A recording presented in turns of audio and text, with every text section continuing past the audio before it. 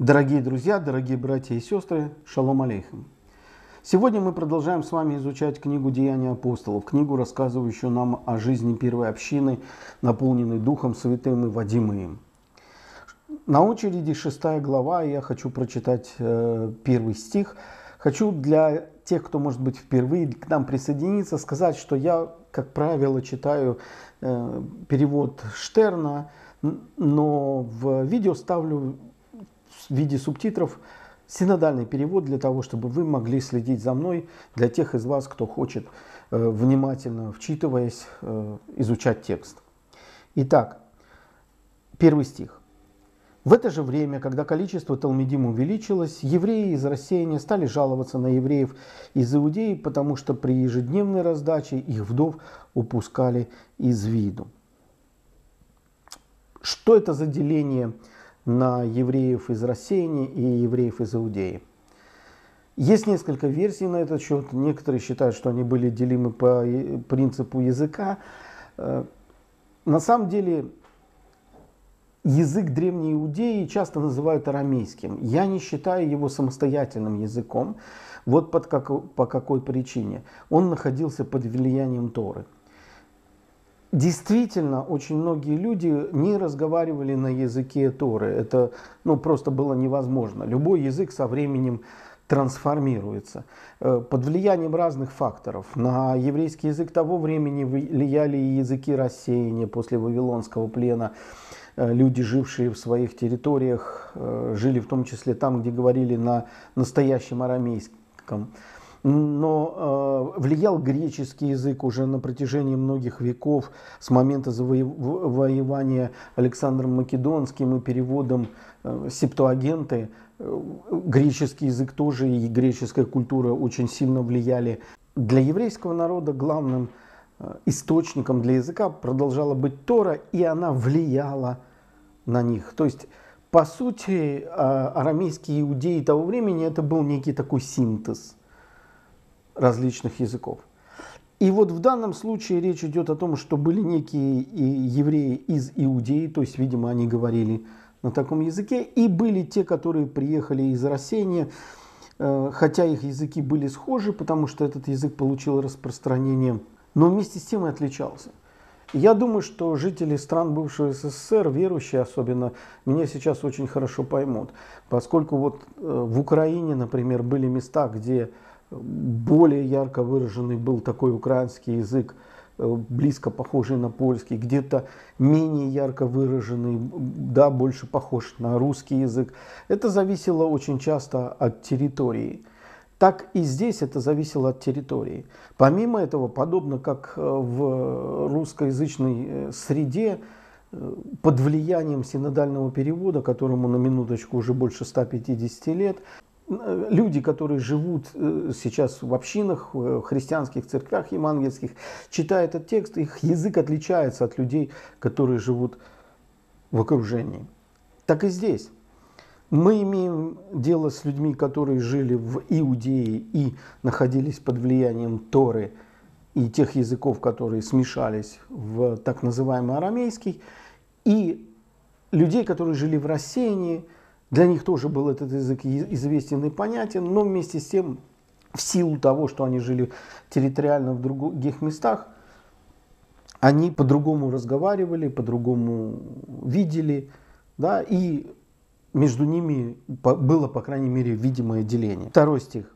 Тогда 12 посланников созвали общее собрание Талмедим и сказали, «Не подобает нам, оставляя Слово Божие, чтобы накрывать на столы. Братья, Выберите из себя семь человек, наполненных Духом Святым и мудростью. Мы поручим им руководить э, этим важным делом.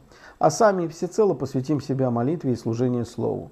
Сказанное им пришлось по душе всему собранию. Они собрали они выбрали Стефана, человека полного веры, и Роха Кодыш Филиппа, Прохора, Никанора, Тимона, Пармиона, Николая, Паразелита из Антиохии. Интересно, для апостолов стало очевидно, что необходимо при, принять некоторые организационные шаги, которые нужно здесь совершить для того, чтобы существование общины дальше продолжалось э, упорядоченным образом. Э, хочу обратить ваше внимание сразу на принципиально новый подход, не так, как это было в первых главах Деяний апостолов еще до, до сошествия Духов Святых. Тогда апостолы, опираясь только на Тору и пример Израиля, э, избирали нового апостола путем жребия. Здесь же они используют совершенно другой принцип. Они определяют требования, которым э, должен соответствовать этот человек, в частности, быть уважение остальных, исполненных Духом Святым и житейской мудрости, то есть видимо, человек должен быть не молодой. В дальнейшем э, в книге э, «Послание к Тимофею» мы видим, что этот список как бы расширен или добавлены подробности. И мы видим, что были выбраны семь человек. Судя по всему, вероятнее, ну, судя по их именам в основном, они были из э, той части э, еврейского народа, которая пришла из рассеяния. Среди них мы знаем, по сути, только Стефана и Филиппа, встречая его на страницах Священного Писания. Стефан вот в нашей недельной главе, а Филиппа мы увидим еще в истории с Евнухом, не будем забегать вперед. Э, за остальных мы практически ничего не знаем, каково было их будущее. Там есть какие-то намеки в традиции, ну, я к этому апеллировать не буду. Э, шестой стих. Эти люди были представлены посланником и те помолились за них и возложили на них руки. Э, есть такое замечательное еврейское слово «смеха». Это эквивалент греческого слова «эксусия», что означает «власть». В древних времен возложение рук совершалось на судей, на старейшин или на раввинов, и это имело символическое значение. По сути, оно как бы было поворотным моментом с, между тем, как человек нес то или иное служение добровольно, и тем моментом, когда это становилось официально провозглашенным его э, служением.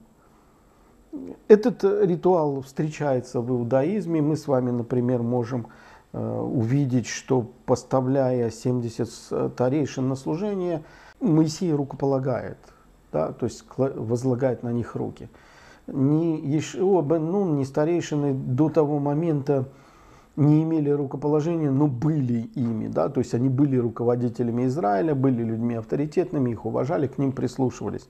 Это же был такой поворотный момент, когда в глазах общественности имели право, кстати, в том числе и судить.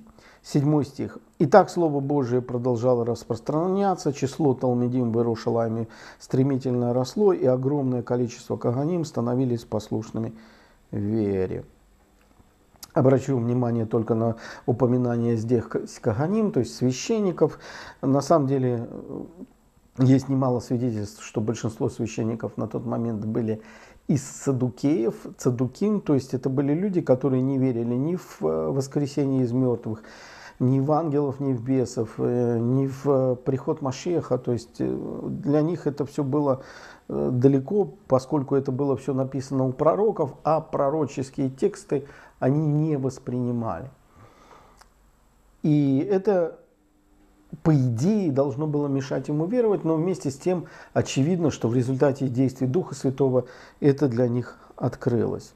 Восьмой стих. Стефан же полный благодати и силы совершал в народе Э, великие чудеса и знамения. Однако некоторые из членов так называемой синагоги Либертион, состоящие из жителей Кирении, Александрии, Киликии и Осийской провинции, заняли враждебную позицию. Они спорили со Стефаном. Э, Либертион, что это такая за синагога? Однозначного ответа на этот счет нет. Я делюсь той версией, которая мне наиболее близка. После, после некоторых исследований я вот пришел к такому выводу, что это так называемые неоортодоксальные или э, либеральные течения в иудаизме, которое зародилось э, в рассеянии. Э, в принципе, как и сейчас, так и в древности, иудаизм не был однородным.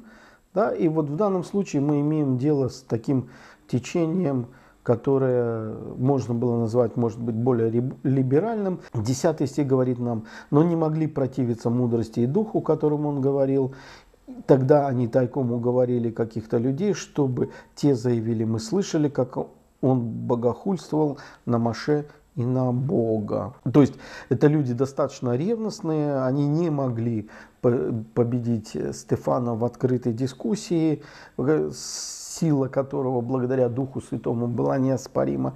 И они обвинили его в богохульстве. 12 стих. Они привели в волнение народ, а также старейшины и учителей Торы. Те пришли, схватили его и повели в Синехидрин. Там они представили лжесвидетелей, которые сказали, этот человек постоянно осыпает бранью это святое место и Тору. Так как мы слышали, он говорил, что Ишуа из Назарета разрушит это место и изменит обычаи, преданные нам Маше. Интересно, что они не э, смогли предоставить убедительных доказательств. Почему мы это знаем? Потому что им пришлось прибегнуть к помощи лжесвидетелей. Возможно, потому что это более либеральное течение, они не были озабочены э, вопросом кошерности свидетелей. Эм, я не буду сейчас разъяснять этот термин, вы можете посмотреть «Два шаббата, одно воскресенье», там об этом рассуждается. И вот что заявляют эти свидетели, лжесвидетели. Так как мы слышали, что он говорил, что Ишуа разрушит это место, на самом деле мы с вами знаем, что никогда Ишуа ничего подобного не заявлял. О чем здесь речь, почему они выставляют. Но это лжесвидетели. Мы с вами знаем, что единственный раз Ишуа говорил в метафорическом плане о разрушении собственного тела. Его тогда не поняли, возможно, здесь приводится этот пример – он также говорил, что другие разрушат это место, то есть он никогда не говорил, что сам разрушит. То есть его слова э, Стефана были переиначены. По поводу Торы, для древнего иудаизма абсолютно нормальной была идея, что когда Машех придет на землю, он даст новые понимание Торы. По сути, вот все э, дискуссии, которые мы находим на страницах Священного Писания, которые Иисус говорит с иудеями, с фарисеями, с учителями Торы. Он всегда дает понимание тех или иных текстов Священного Писания, причем и Талмуда, и Мидрашей, и, собственно, Танаха, независимо от того, какое у людей представление об этом. То есть он знает их точку зрения, но не отменяя ее, дает, придает ей новый смысл, новое понимание. И э, эта идея, что Машех, придя на землю, принесет новое понимание Торы, не была новой. Ученики не были первыми, кто эту идею э, провозгласил.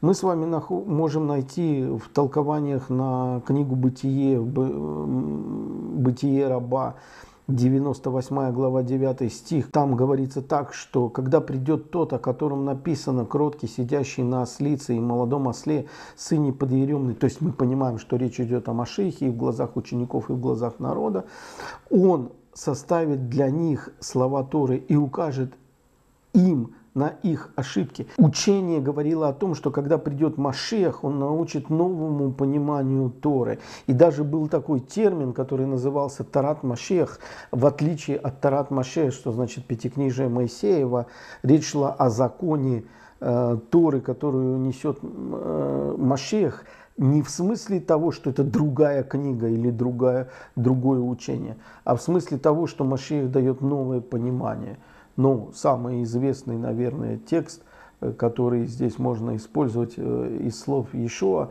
когда он говорит о субботе, он говорит суббота для человека, а не человек для субботы, расставляя приоритеты. Очень часто до сегодня приоритет этот перевернут с точностью до наоборот тому, что сказал Иешуа.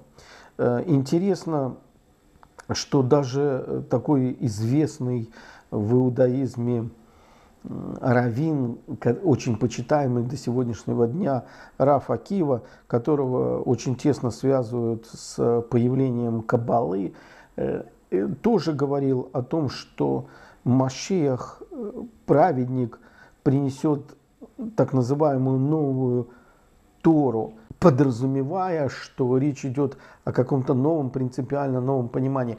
То есть, даже если предположить, что придя Машех, отменяет Тору, предположим, дает какую-то новую Тору, это все равно для древнего иудаизма не было чем-то каким-то нонсенсом. Это в, укладывалось в рамки того, что люди знали и что, чему учили. Кстати, сегодня тоже в некоторых кругах иудаизма существует представление, что приход Машеха, а они не верят, что Ишуа Машех, да, должен прийти кто-то другой в их представлении. Так вот, они верят, что приход Машеха принесет совершенно новую Тору, а прежняя Тора – будет отменена.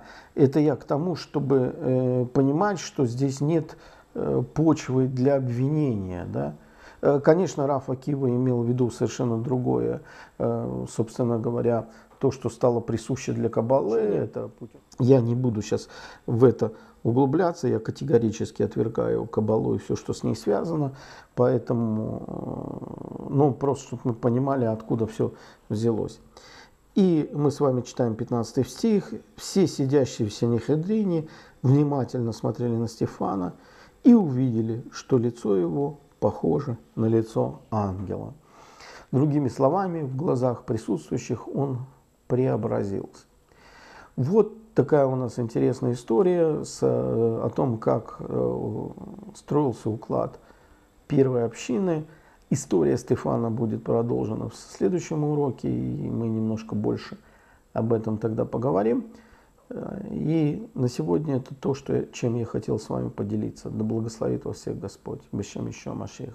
Аминь.